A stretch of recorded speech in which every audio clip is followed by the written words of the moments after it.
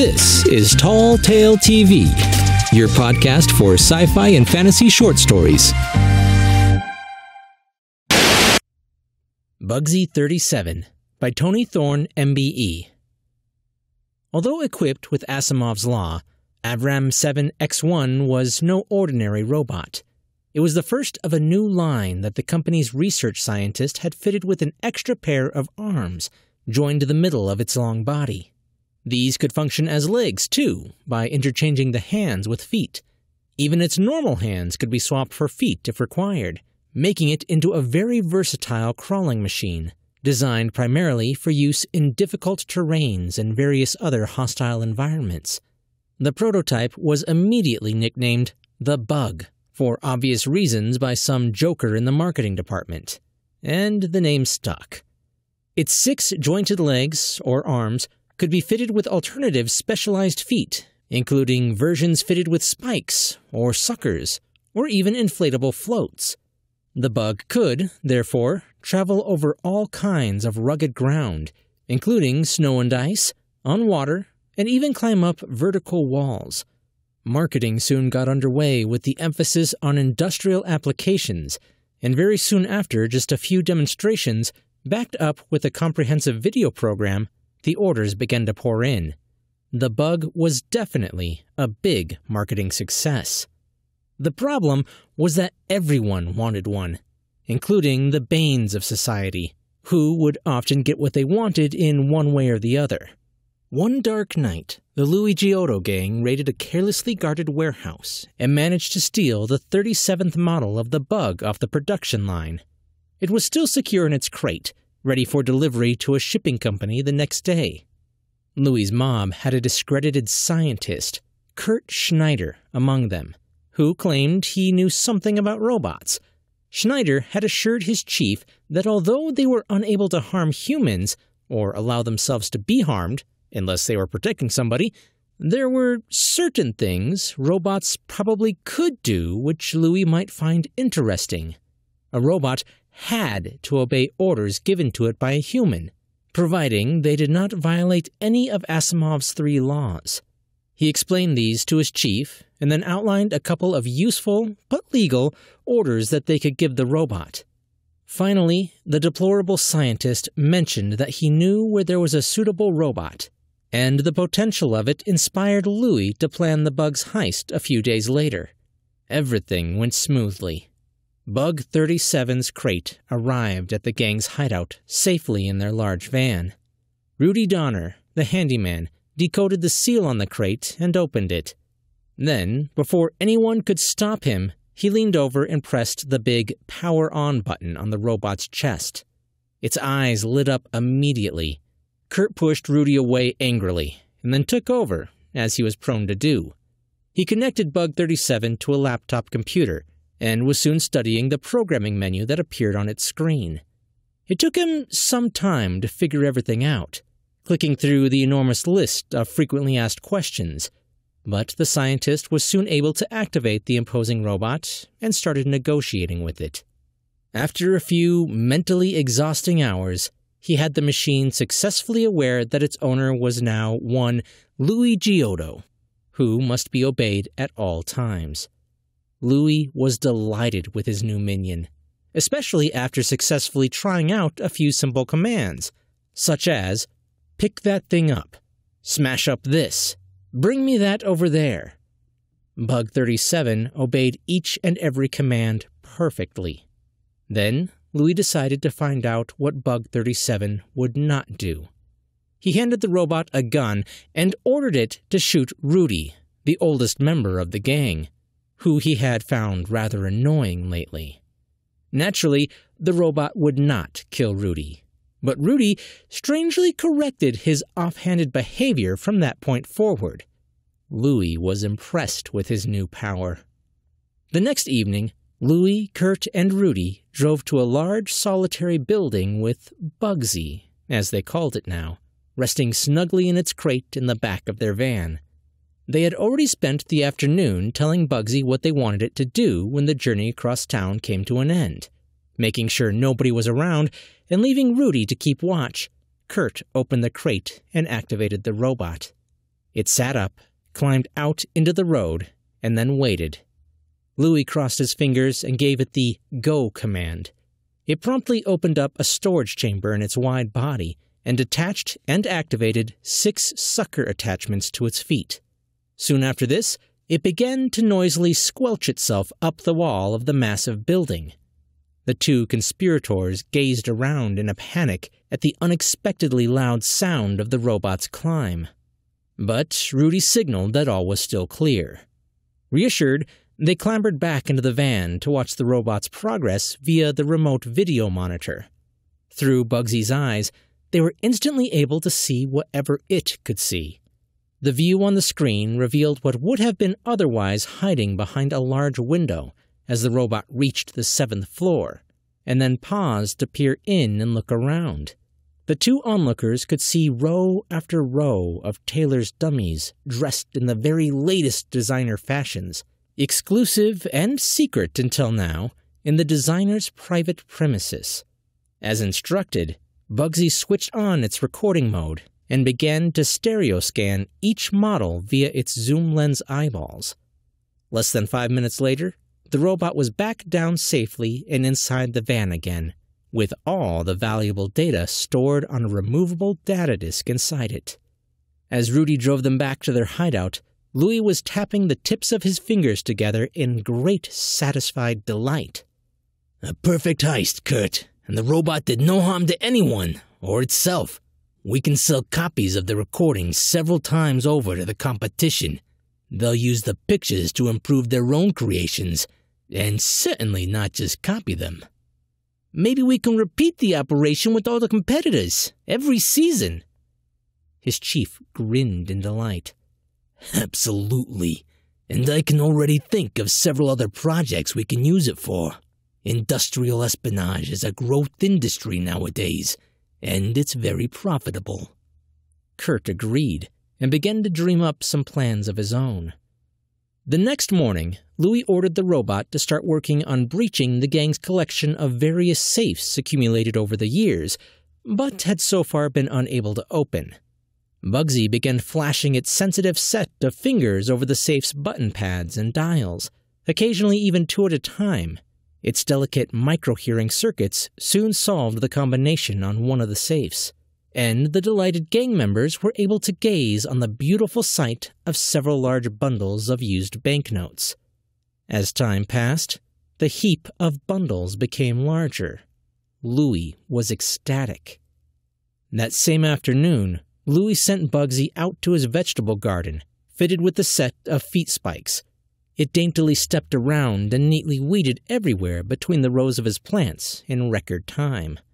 Louis sat out in his deck chair, restfully with a long drink, delighted in watching Bugsy while pondering any farther necessity for Rudy anymore. The next day, Louis and Kurt tried out another way to use the robot.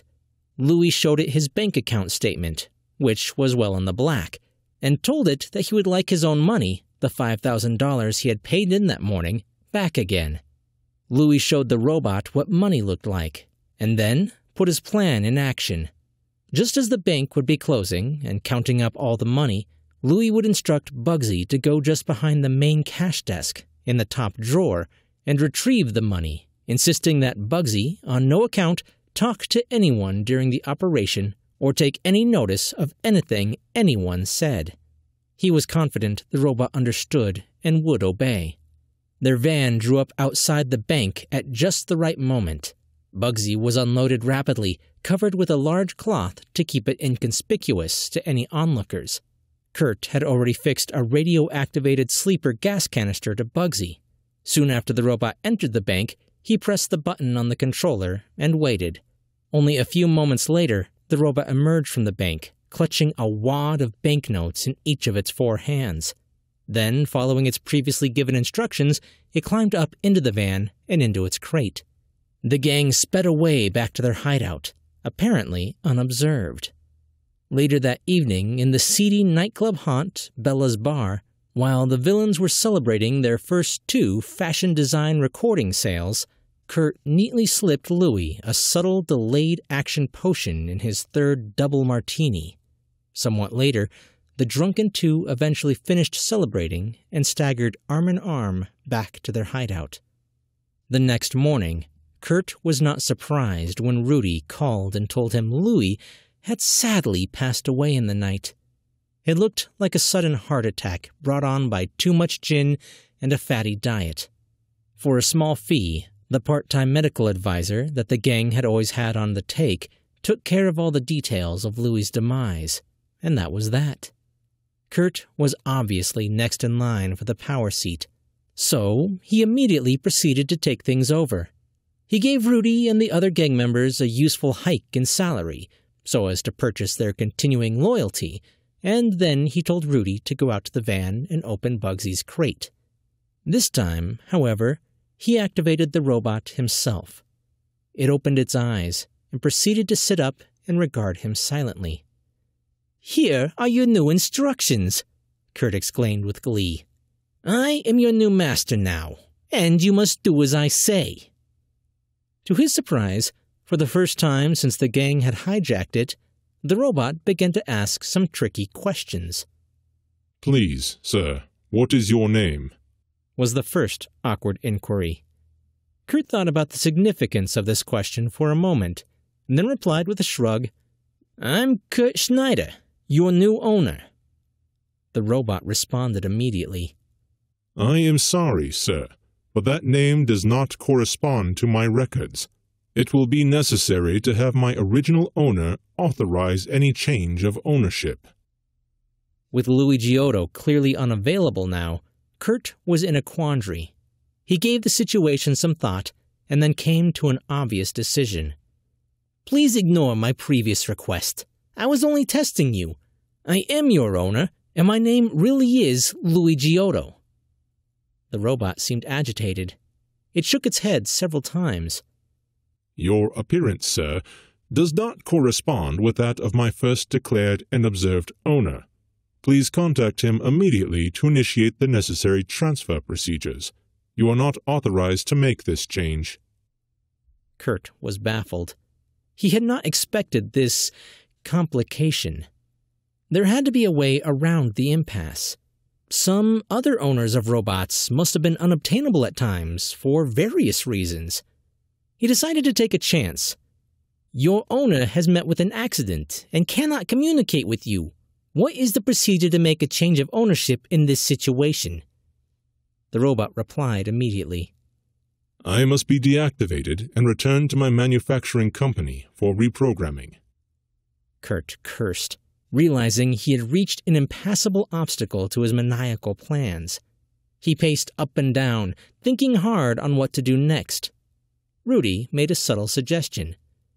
How about delegating Louis's authority to someone else on a temporary basis? The intelligent machine nodded. Yes, sir. That is possible, if my recorded owner agrees to it. Kurt's sudden enthusiasm for the idea evaporated. However, Rudy followed up his own crafty idea.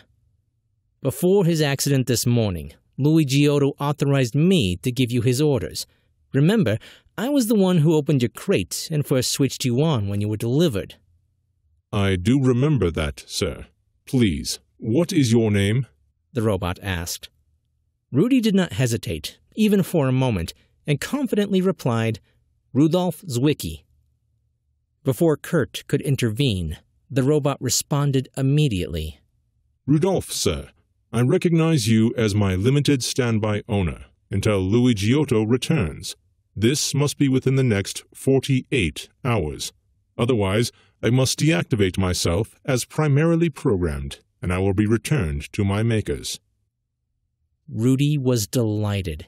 He grinned and stepped back smugly as Kurt angrily tried to attack him. Meanwhile, the robot had already raised an arm to restrain Kurt. Sir, I apologize for this action, but I cannot allow you to harm another human. Kurt had no choice but to accept the situation. He also realized, as did Rudy, that it meant they had just 48 hours to make profitable use of the situation. So, what should they do next? Giotto had kept a diary in his safe of his plans for possible future heists, Unfortunately, only Louis knew its combination. and he wasn't talking these days. They delegated the problem to Bugsy and took it into Louie's apartment. The robot located the safe behind a picture and immediately went to work. Starting from scratch, its fingers flashed through every possible sequence of code buttons. In just over an hour, it hit the right combination and the safe opened with a click. Rudy ordered the robot back out into its crate. As soon as Bugsy had departed, Kurt took out Louie's diary of potential thieveries, plus all the money in the safe, and put it into a briefcase he had brought with him. We'll split this later, he promised to Rudy. Meanwhile, let's see what job we can do next. The next heist Louis had been planning entailed a raid on an expensive yacht at anchor in the local bay. It was one he had owned a few years before and sold cheaply to buy off another gang leader who wanted to muscle into some of Louis's territory. Later that evening, having switched over to its inflated set of rubber floats, Bugsy was skimming its way over the calm waters of the bay, heading for the yacht. Rudy and Kurt had shown the original yacht ownership documents to the robot and had explained that Louis wanted the contents of his safe, hidden behind a picture in the wall of the main storeroom, brought to their hideout. Kurt and Rudy were watching in their van as the robot reached the yacht and started to haul itself up and over the stern, grabbing at every hook and hold it could find. Unfortunately, they also saw it intercepted by another robot, an early model Avram 4, programmed as a security guard. They were able to overhear the following conversation. What do you want here? Please go away. I must collect the contents of the safe from my owner's stateroom and take it to his deputy. Please state the name of your owner. Louis Giotto. This vessel is owned by Albert Dolini. You cannot proceed. I have seen the documents proving ownership to Louis Giotto. I must proceed as ordered. Impossible. This vessel is owned by Albert Jolini. I cannot allow you aboard. I have seen the documents proving ownership to Louis Giotto. The security robot began to fend Bugsy off with a long boat hook. Go away. You are unauthorized. It is against my orders to allow you aboard this vessel. You are an intruder. The two robots continued to argue. Their conversation became tedious and Kurt and Rudy decided to give up after half an hour. Kurt activated the remote communicator and told the robot to come back immediately. The argument ceased, and the gangsters saw Bugsy begin to drop back over the stern of the yacht. Unfortunately, the security guard's boat hook had perforated two of Bugsy's floats on one side of its body. After skimming only a short way back to the harbor, the disabled robot began to sink. In utter dismay, Kurt and Rudy watched the water level rising up higher and higher on their screen until the robot's eyes were submerged. Soon, they saw a series of tiny flashes and streams of bubbles appear as various components inside the machine became short circuited. All movement ceased, and the last thing they saw before the screen blacked out was a small school of curious fish staring at them with bulging eyes. Later that evening, discussing their grim future, Kurt had already arrived at a conclusion. When he assumed Rudy was not looking, he dropped some more of his deadly mixture into his rival's glass. However, a short while later, with his eyes fixed on an interesting dancer, he did not notice Rudy switch the glasses. Rudy had been quite more intelligent than he was presumed to be about his prior leader's strange, sudden death and had now eliminated the culprit before he became the next victim. Dr. Kurt Schneider would not be waking up tomorrow. With the quick fix help of the gang's medical man, Rudy assumed command and did the right thing. He collected up all the cash he could find in Kurt's room, and there was quite a lot of it. He then handsomely paid off the other two minor members of the diminished gang including the recently very helpful medical man. Finally, he declared the Giotto gang disbanded, sold off the premises, and headed off to South America with all his acquired loot in tow. While sipping a cool drink on a quiet beach one summer day a year later, Rudy had a group of visitors.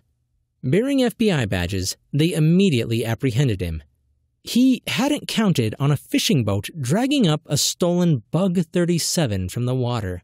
And he certainly hadn't expected Bugsy's waterlogged memory disks to still be in perfect working order. Tony Thorne, MBE, is an Englishman, born and technically educated in London, England, as a chartered design engineer. He lives in Austria in the summer and the Canary island of Tenerife in winter. Earlier in life, he wrote science fiction and humorous stories, was an active sci fi fan, and a spare time lecturer for the British Interplanetary Society.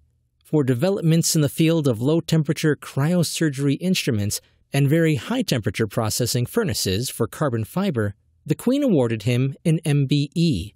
After many subsequent business adventures, including the development of AI computer software for business applications, he is now an author of quirky speculative fiction, mostly tall science fiction and macabre tales, with over 100 short stories published in many magazines, various collections, and many anthologies, including eight from Whortleberry Press.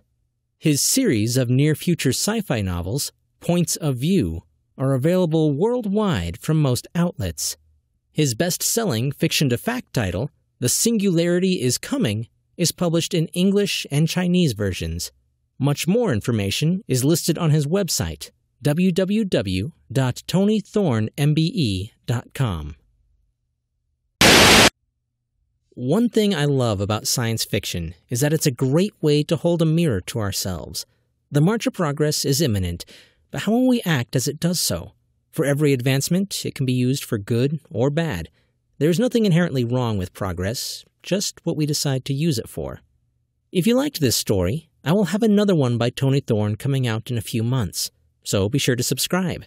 This show is available on YouTube, Facebook, iTunes, and just about every podcast app available. Thanks for listening. I'm Chris Herron, and that's it for today's Tall Tale TV.